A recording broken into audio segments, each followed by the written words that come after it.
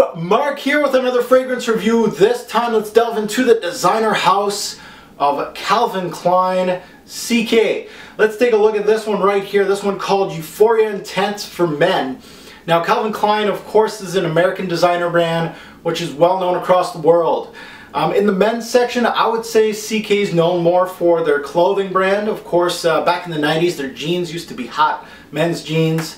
And uh, again, iconic underwear. Um, they're really known for their undergarments. Who would have known? Um, that's probably their best-selling product in the men's section.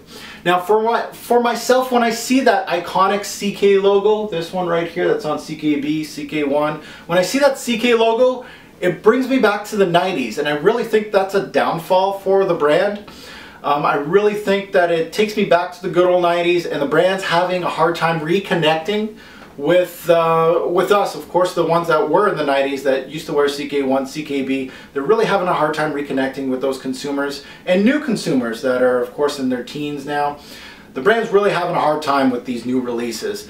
Um, CK first started in the fragrance game with the now discontinued Calvin back in 1981. Um, the 80s and 90s CK saw its best years, to be honest, uh, with of course CK1, CKB, Obsession, Eternity, um, even Escape to some, some extent. Escape wasn't really a good seller. Now with Coty on board, with Calvin Klein licensing this brand, the 2000s Calvin Klein really is releasing more flops than the Los Angeles Clippers. Yes, an NBA reference. If you guys know NBA, you'll know, you'll laugh at that one. Nice little NBA joke right there. Now, the flops in the 2000s, hey, CK Free, CK Into You for Him, and all its flankers. Um, the numerous CK1 flankers also, CK Crave and Truth, really weren't sellers. Um, they weren't really popular in the fragrance community. Um, these fragrances, just in the 2000s, Calvin Klein's missing something. Now, CK heard rumblings that the original Euphoria and how weak it was, and they really wanted to tinker with it and release an intense version. Now, are we going to see uh, a more intense version of the original with this guy? Is what, of course, the public wanted, or different juice with the same longevity and projection problems. Let's get to the review, and I'm going to let you guys know the ins and outs of Euphoria Intense for Men. Let's go. Alright guys, time to tackle presentation for Calvin Klein's Euphoria Intense for Men. Let's take a look at the bottle and the box and of course here on the Robes 08 channel, we're going to tackle box first. Now you take a look at this uh, box, it's got like a brown, dark brown, um, rose gold hue to the box with a white line coming across it to give it, you know, some depth to it. Um, this is all embossed, by the way, the name of the fragrance and the CK down here is embossed. Um, you got some information at the back of the box and some at the bottom and that's it I'm nothing too crazy right here now taking a look at the bottle Calvin Klein bottles as a whole as a brand um, I feel most of them are you know not so great. Some of them are actually kind of tacky you know going for the younger age groups. This one right here is probably one of their nicest bottles as far as presentation goes. It's kind of got like that stained uh, brown glass here. And uh, with the metal parts here with the cap and of course the sprayer it has like a rose gold hue to it. So very nice rose gold actually kind of in right now. So very very nice. I wouldn't be ashamed to have this on on uh, my dresser now let's take a look at the cap it, it, does have some weight to it of course with the metal and uh, loads of plastic in the middle and uh, this right here uh, of course you got the sticker at the bottom um, right here the metal doesn't go all the way around the bottle as you can see here. Um, so if you have it like in a bag or something, it might get stuck to clothes or something and then it might actually rip off. It's not really glued very well on here. So if you're rough on your present or on your, on your bottles, just an FYI. Now the sprayer itself, it's one of those that actually sprays like a laser. Doesn't spray much, but it sprays exactly where you're going. Let's take a look at it. Let's spray this sucker. And as you can see, it's got that laser thing going on. So this is presentation for Calvin Klein Euphoria Intense for Men. Let's go to the review. Let's tackle bottle sizes. Euphoria Intense for Men comes in the standards. 1.7, 3.4 ounce bottles. You're looking at a 3.4 ounce right here. Pricing, give or take, uh, 35 to $70 American. Again, Calvin Klein's basically available everywhere you go. Um, your nearest discounter will have these available and uh, shop around and you'll probably get this at a discount. Now this one, if you didn't know, is a flanker of the original Euphoria for Men.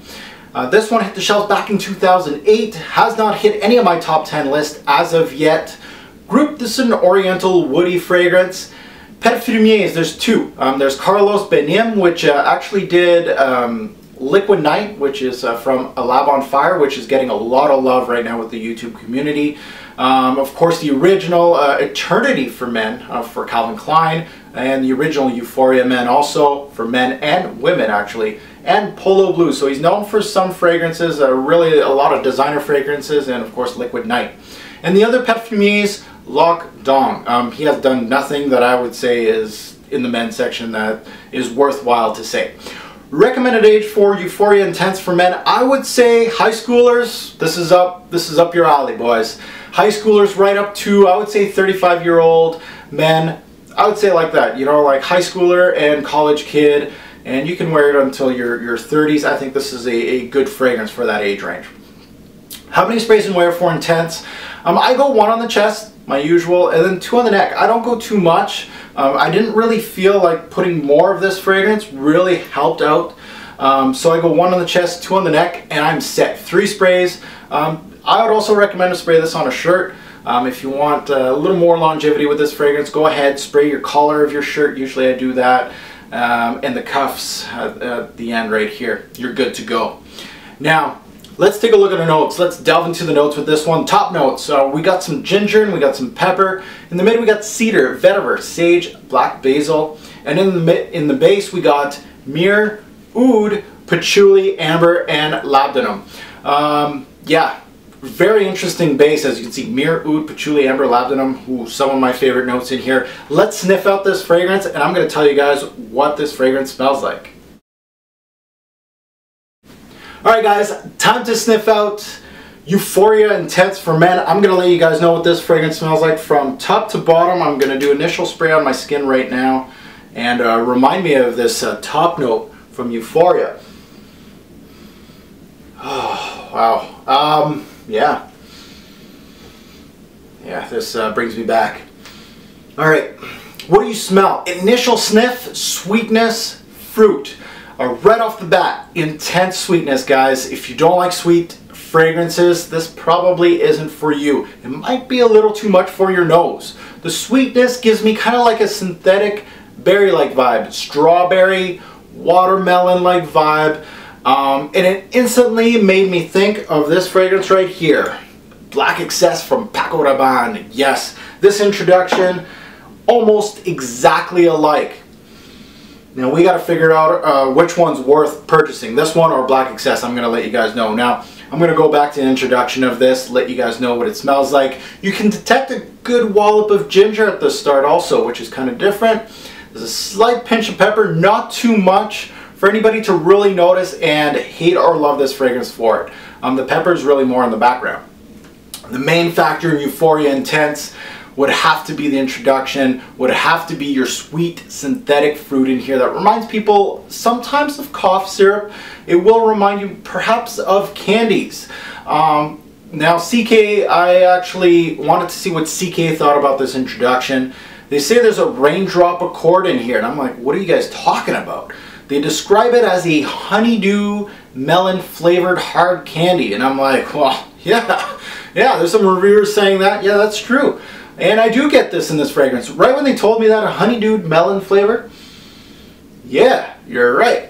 So this is where some people are going to say it smells like candy, Jolly Rancher or something like that. Yeah, CK, right on, right on the bat, right on the score with this one. This intro will be a huge winner for sweet tooth type of fragrance lovers, kind of like myself, gourmand lovers perhaps, and younger noses alike. Definitely, this top note's going to be like sold for a lot of people and then other people, eh, you know, I have a sweet tooth, you don't like these type of fragrances, eh, stay away.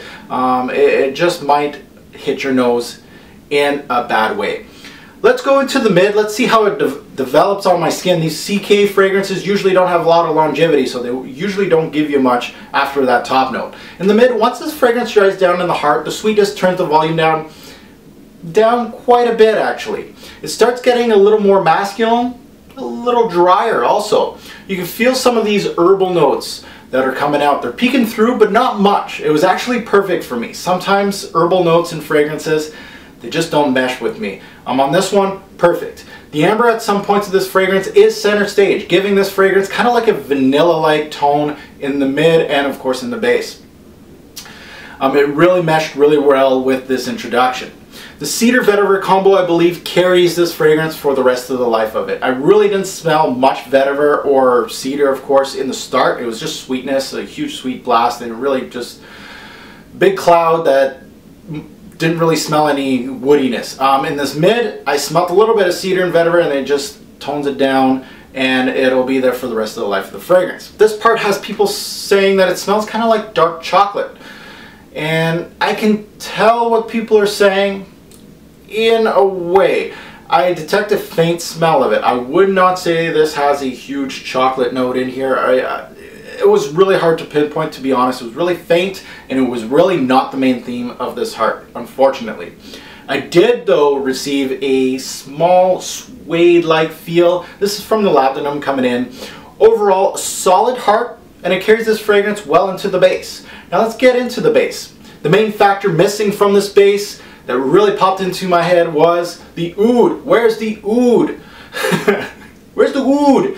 I never detected any of it, any part of this fragrance. There's no oud in this fragrance at all. Any users thinking of, or people thinking of getting this fragrance, hey, there's oud in this, I'm going to try it, my first oud-based fragrance. No, you're going to be disappointed, you're not going to smell it, you don't even know what the hell you're, you're, you're smelling. There's no oud in this. The base gave me a typical spicy, almost woody ending. Now the woody, you're saying, oh, there's there, there's wood. Maybe that's the oud. No, again, the wood was more of a mix of that cedar vetiver combo, more than oud. To be honest with you guys, there was there's no oud I detected in this fragrance at all. The myrrh showed its face in the midway part of this fragrance. Did a nice job to man this fragrance up just a little bit. Um, but not a huge player in this fragrance. Now let's get to the overview and I'm going to let you guys know what I think of Euphoria Intense for men. Welcome to the overview of Euphoria Intense for Men by Calvin Klein. My two cents on this fragrance. The main player in Euphoria Intense would have to be the sweetness. It was the prominent accord in this whole fragrance and it is going to be the main factor why people would either love this fragrance or hate it. Again, another fragrance that could really fool you with its notes and grouping. You gotta be careful if you're looking at a note breakdown of a fragrance and of course its grouping. It's a borderline oriental woody fragrance. It wasn't really that in your face. The notes would make you think that this was a darker fragrance, but that's not the case. Um, it can make a case of being almost semi-gourmandish. Um, definitely sweetness, this one. Now this fragrance right here, personally, I felt it was made more for nightlife and casual use at the same time. Going to play pool with the boys, going bowling, going out for dinner, etc., etc. It can be worn in the club, but you might be lost in the shuffle with the lack of power of this fragrance. These type of fragrances need power to go into the club. They need projection and longevity. They need to go beast mode, boys. This thing, it's weak. You're to get lost in the shuffle. Angel Men, Le Male, 1 million. 10 sprays of 1 million is going to crush this guy. Nobody's going to smell you. It's a solid choice for a starter or high school set. I really think this one would work well on a younger man. High schoolers, this is for you. Comparing this to the original, let's compare it to the original Euphoria. My personal opinion is I'd rather wear this than the actual original. If you smell the original, and they do have some similar notes if you smell the original, but overall they're not close in scent. So Perhaps if you hate the original, you may like this one. Um, there is some other notes in this fragrance that, that makes it a little different. Um, this one I would say is much darker than the original. So don't hesitate to check this one out if you felt the original was a little too safe for you. The original was more of a daytime scent for me, like a workday scent, and this one is more like a, a night out, nighttime scent. Um, a little more interesting to be honest but both lack in the performance side of things and Calvin Klein is known for performance issues. What I'm talking about is projection and longevity. Most of their fragrances just don't last. It would make probably my top 10 Calvin Klein releases of all time for men. Again, I'm not a huge Calvin Klein fan. Since I put them into the safe mainstream brands like Hugo Boss, Tommy Hilfiger, um, I would be hard pressed to make a top 10 list for, for these type of brands. Um, so for me, it will probably make my top 10 for Calvin Klein. Very interesting scent. Um, solid actually. Now, for this type of fragrance, I felt the overall performance was really lacking. Projection longevity are the bread and butter of a fragrance like this. You know, these, these sweet gourmandish fragrances uh, like this with that introduction. Um, Euphoria Intense was really weaker than most of fragrances in this genre. And I would hardly call this an intense version of a fragrance. Why would you hate this fragrance? Well, the sweetness, of course, uh, that big bold sweetness uh, that you're getting right off the bat. Yeah, um, it doesn't really go away. Like the sweetness is more like a fruity sweetness at the start and then like a vanilla-like sweetness um, in the back end of the fragrance. So that might hurt you. Synthetic-wise, yeah. Um, probably also cloying. Um, it could be cloying to other people. Longevity problems, yeah. Um, if you're looking for a club banger, this ain't it. Um, also, kind of juvenile in a way, you know, it, it's it's not too juvenile. It's not like sugary sweet, but it has some sweetness to it. And I could say, I could really see somebody saying, "No, this is for younger guys." I could see that. One word to describe this fragrance would have to be sweet. Uh, bottles, uh, definitely, again, I'm going to bring out my Black XS. Um, this is very comparable to this one, so test them both out. As far as um, both these fragrances, you know, going head to head, I would say they're pretty freaking close, guys. Um, you can go either way. Um, I really have, I think, better uh, longevity and projection with this one, but it was a, a close call as far as uh, as both these fragrances go. So I would recommend it as Black XS or this one for bottles. Um, it's in the same genre as a Givenchy Play Intense or a Rochas Man, you know, like semi-gourmandish fragrances. Um, they don't smell like, of course it doesn't smell like Givenchy Play Intense or a Rochas Man, but check those out if you're into this fragrance. Um, best time to wear this fragrance, again, like I said earlier, a night out, uh, fun day, you know, going to play pool, you know, something like that, night out. Um, compliment factor. I looked around online to see compliment factor for other people. Um, actually, they got a lot more than what I did with this guy. To be honest, the compliment factor with this one was middle of the road. Um, I really didn't get anything like panty dropper or amazing uh, compliment factor with this one. Again, the longevity projection is not that great with this guy. And I really think that um, mid. Um, nothing outstanding as far as the compliment factor goes. My two cents for CK Euphoria Intense for Men. It is one of the better CK releases in the new 2000 branded Calvin Klein brand. Uh, you know, you got CK1 Shock that's actually pretty good. Other than that, in the 2000s, it's lacking. So this is actually a solid release, and I liked it. They did well with this one. I really liked this one, but I think I got a little more project, pro, pro, production out of Black XS. So they're kind of really the same as far as fragrance goes, as smell. Um, and I think I, I, get a little bit more from this guy, and that's why I would choose this one over this one, to be honest with you guys. Um, they're very close, and I think CK beats it out just slightly in every category. It's solid from the house, but not the home run that Calvin Klein really wanted uh, to revamp their whole men's line, and this is not going to be, uh, you know, their saving grace, I would say. So this goes from By Try Pass, Euphoria Intense for Men is a definite try. I really wasn't blown away from this one, but it is actually solid. So sniff it out. Let's get to the rating system and see how it does against the rest. See ya, YouTube. Alright guys, let's rate CK Euphoria Intense for Men. Projection longevity, eh, kind of middle of the road. Um, they get uh, 7 bottles out of 10 for projection eh, mid to low. Longevity, again, six bottles out of 10, uh, mid to low. You're getting three to six hours, give or take. I'm looking for a little more for uh, this type of fragrance. Versatility, this one gets seven bottles out of 10. Not bad, but I really just wear it for casual use in the nighttime. Overall smell, eight bottles out of 10. Smells nice. Um, that's your typical CK. Smells good. Seasons, I would say mainly for fall, spring, and winter. It's a good night out scent for casual use. It has that typical CK performance issues, and it smells good, but you can do better for your cash. Overall score, I'm giving this one a 7 bottles out of 10. A solid release from CK.